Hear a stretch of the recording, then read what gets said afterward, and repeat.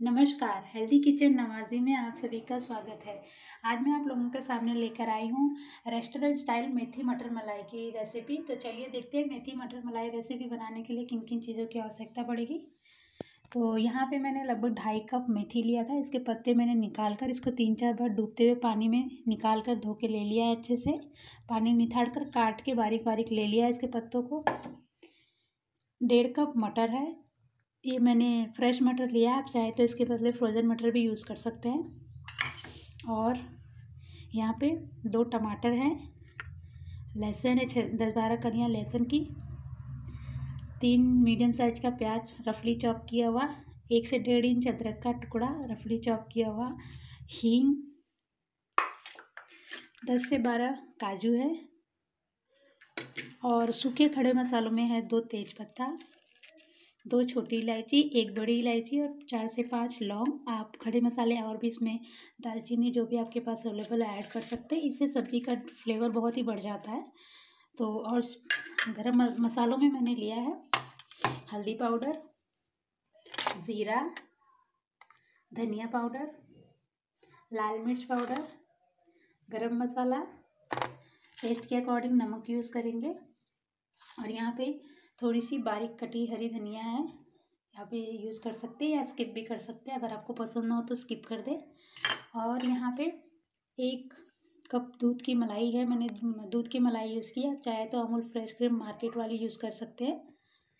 और सब्ज़ी बनाने के लिए यहाँ पे सरसों का तेल यूज़ कर रही हूँ। आप चाहे तो कौन सा भी कुकिंग ऑयल यूज़ कर सकते हैं। तो सबसे पहले हमें इस मटर को थोड़ा सा बॉईल करना है। ताकि हमारे ग्रेवी में जल्दी से पक जाए, ज़्यादा समय ना लगा। तो इसको हम पैन में डाल देंगे और इसमें एक थोड़ा सा पानी डालकर इसमें उबाल लेंगे पहले। तो गैस ऑन करके, गैस पे हम एक साइड ये पैन चढ़ा देंगे और इसमें थोड़ा सा उबाल आने देंगे। ज़्यादा हमें इसे उबालना नहीं है थोड़ा सा हल्का सा जब इसमें थोड़ी सी गर्म हो जाए पानी तो हम इसको बंद करके ढक के रख देंगे। तो ये अच्छा सा थोड़ा सॉफ्ट हो जाएगा। और फिर हम सबसे पहले मेथी को पका लेंगे। तो एक कढ़ाई पे, कढ़ाई चढ़ा लेते हैं गैस पे। और गैस ऑन करके इसमें हम लगभग थोड़ा सा तेल डाल देंगे, लगभग एक चम्मच के आसपास। और यहाँ सरसों का तेल यूज़ कर रही हूँ तो इसको अच्छे से पहले हीट होने देना है। तो यहाँ पर हमारा तेल अच्छे से गर्म हो चुका है। अब इसमें हम डाल देते हैं मेथी।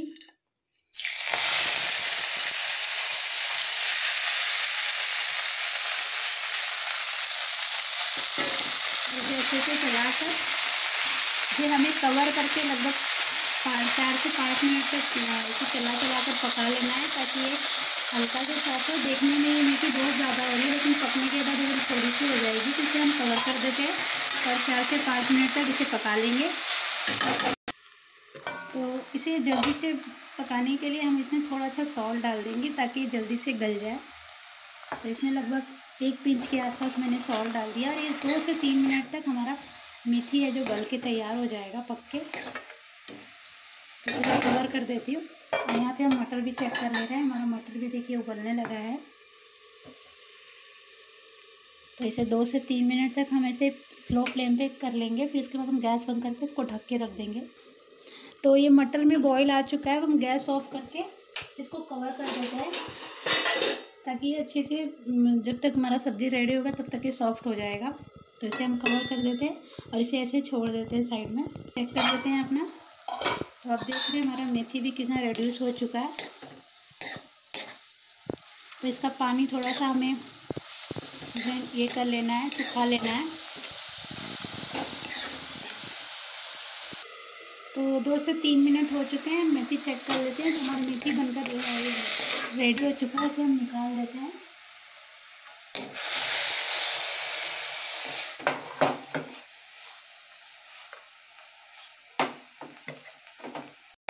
तो मेथी को मैंने एक बर्तन में निकाल दिया। अब सेम कढ़ाई में मैं आगे का प्रोसेस भी कर लूँगी।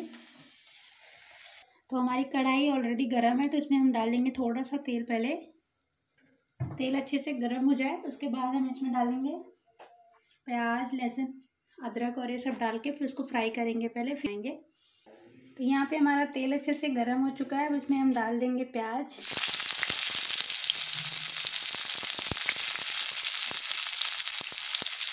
लहसुन और अदरक। और इसे हमें हल्का गुलाबी होने तक फ्राई करना ज़्यादा नहीं पकाना है। और जब तक ये हमारा ये हो रहा है, तब तक हम टमाटर काट कर भी तैयार कर लेंगे। यहाँ पे मैंने टमाटर को काट कर तैयार कर लिया है और हमारा प्याज, लहसुन, अदरक भी हल्का गुलाबी हो चुका है इसमें हम टमाटर डाल देंगे। और टमाटर को सॉफ्ट होने तक हमें अच्छे से इसको पका लेना है तो गैस का फ्लेम हाई करके चलाते हुए टमाटर को सॉफ्ट कर लेना है। तो इसे मैंने हाई फ्लेम पे से दो मिनट तक चलाते हुए पका लिया। आप देख रहे हैं हमारा टमाटर एकदम अच्छे से सॉफ्ट हो चुका है।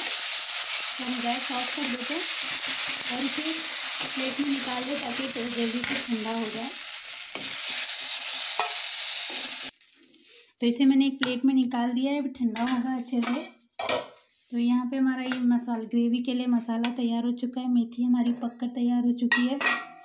यहाँ पे मैंने मटर भी उबाल के रखे थे, आप देख रहे हैं, अभी भी गर्म है तो ये जब तक सब्ज़ी तैयार होगी, हमारा मटर एकदम अच्छे से सॉफ्ट हो जाएगा। तो अब ज़्यादा समय नहीं लगेगा, बस इसको ठंडा होने के बाद इसको हमें पेस्ट बनाकर सब्ज़ी बनानी है। तो यहाँ पे हमारा टमाटर, प्याज, लहसुन, अदरक सब ठंडा हो चुका है तो इसको हम पेस्ट इसका पेस्ट बना लेंगे। तो यहाँ पे मैंने एक छोटा मिक्सी जार लिया है, इसको डाल लेती हूँ। इसी में एक काजू भी लेकर हम इसका अच्छे से स्मूथ पेस्ट बनाकर तैयार करके फिर मैं आपको बताती हूँ। तो यहाँ पे मैंने टमाटर, लहसुन, प्याज सबका पेस्ट बनाकर तैयार कर लिया है। अब हम चलते हैं सब्ज़ी बनाने की तरफ़। तो गैस पे हमने कढ़ाई चढ़ा दी है। गैस अब उसमें यहाँ पे लगभग एक एक बड़ा चम्मच मैंने तेल लिया है। तेल को अच्छे से हीट होने देना है। सरसों का तेल है। तो इसको अच्छे से पहले गर्म कर देंगे हम। तो यहाँ पे हमारा तेल अच्छे से गर्म हो चुका है। अब अब इसमें हम डाल देंगे एक चम्मच जीरा। और जो मैंने सूखे मसाले खड़े डाले थे, वो तेज पत्ता, लौंग। लौंग को थोड़ा सा ऐसे तोड़ के डालें। दालचीनी है बड़ी वाली। बड़ी वाली इलायची है, इसको तोड़ कर डालें। इसको ऐसे छील कर ताकि इसके दाने अंदर तक जाए। दो हरी इलायची और चार लौंग। इसको डालकर हमें एक सेकेंड के लिए भून लेना है। अब इसी के साथ साथ हम इसमें डाल देंगे एक पिंच के आसपास हींग। हींग और ये सब हमारा ये हो चुका है। अब इसमें हम डालेंगे मसाले, जो हमने पेस्ट वाले बनाकर तैयार किए थे।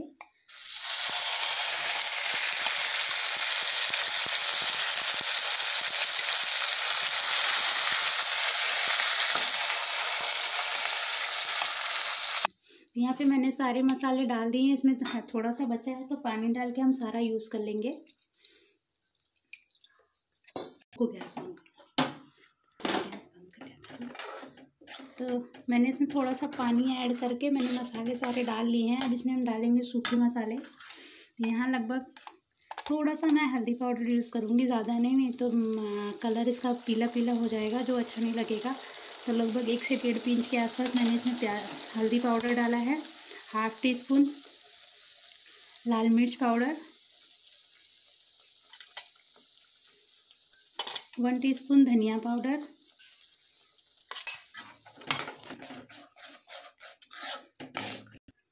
और ये एक हरी मिर्च है, इसको मैंने लंबा काट कर डाल दिया अगर आप ज़्यादा तीखा खाना पसंद करते हैं तो ज़्यादा डाल सकते हैं। अब इसे मैं अच्छे से मिक्स करके सबसे बिना जब तक मसाले से तेल अलग ना हो जाए तो इसे मैं कवर कर देती हूँ और तेल छुटने तक इसे मैं पका लूँगी पहले। तो इसके साथ ही मैं मसाले के साथ ही मटर को भून लूँगी। मटर तो हमारा सॉफ्ट ही हो चुका है, आप देख सकते हैं। बट इसको मैं मसाले के साथ भून लूँगी तो और अच्छे से सॉफ्ट हो जाएगा। तो इसका मैंने पानी ड्रेन कर लिया मटर को मटर को भी मैं इसमें डालकर अच्छे से मिक्स करके इसके हम इसके साथ ही हमें इसे पका लेंगे। और मेथी भी डाल देते हैं। अब इसे हमें ढककर तेल छोड़ने तक अच्छे से पहले फ्राई कर लेंगे हम इसमें, इसको।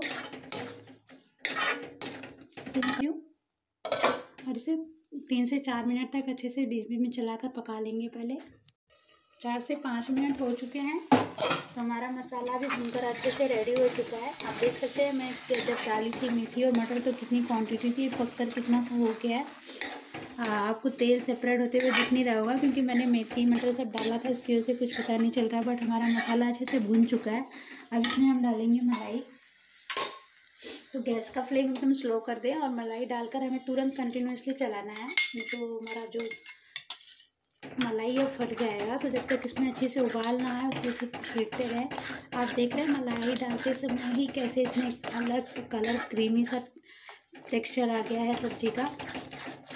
गैस का फ्लेम थोड़ा सा बढ़ाकर इसे हमें कंटिन्यूसली पहले चला दें ताकि इसमें अच्छे से एक बार उबाल आ जाए।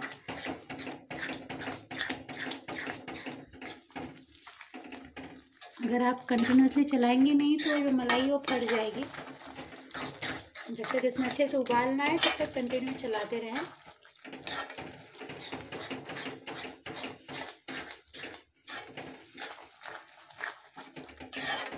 आप देख रहे हैं, इसमें उबाल आना स्टार्ट हो गया है तो अब इसमें हम अपने, अगर आपको ऐसा थिक चाहिए तो आप ऐसे ही रहने दीजिए। मैं इसमें थोड़ा सा पानी ऐड करूँगी। तो अब इसमें हम लगभग एक एक गिलास पानी में डाल रही हूँ। आप अपने इच्छा अनुसार कम ज़्यादा कर सकते हैं। मुझे थोड़ा सा इसमें हल्का सा ग्रेवी टाइप में चाहिए रहता है। मुझे अच्छा लगता है मेरे हस्बैंड को भी तो मैं इसे थोड़ा सा ग्रेवी का टेक्सचर दूँगी। आप चाहे तो ठीक भी खा सकते हैं। तो इसमें थोड़ा सा पानी और ऐड करेंगे। तो आप देख रहे हैं, मैं कितना इसको खड़ा रखी हूँ। इसको एक से दो मिनट और पकाएँगे तो ये ठीक हो जाएगा। अब इसमें हम डालेंगे टेस्ट के अकॉर्डिंग नमक। तो यहाँ पे मैं टेस्ट के अकॉर्डिंग नमक डाल रही हूँ। और हाफ़ टी स्पून गरम मसाला। अब इसे अच्छे से एक बार मिक्स कर देंगे पहले।